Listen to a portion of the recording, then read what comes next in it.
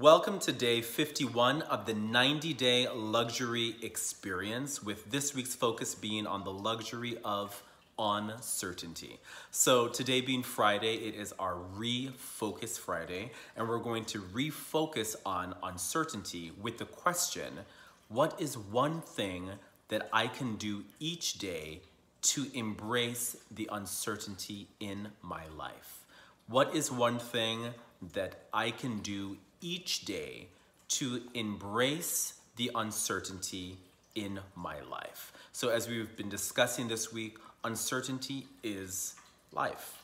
There are so many things that come up that we do not know how they're going to turn out. We do not know what is going to happen.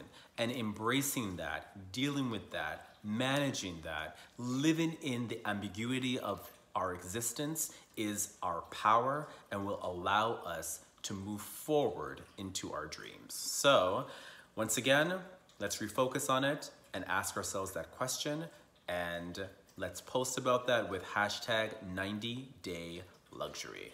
Thanks again and looking forward to our luxury dates tomorrow. Till we next connect. Thanks.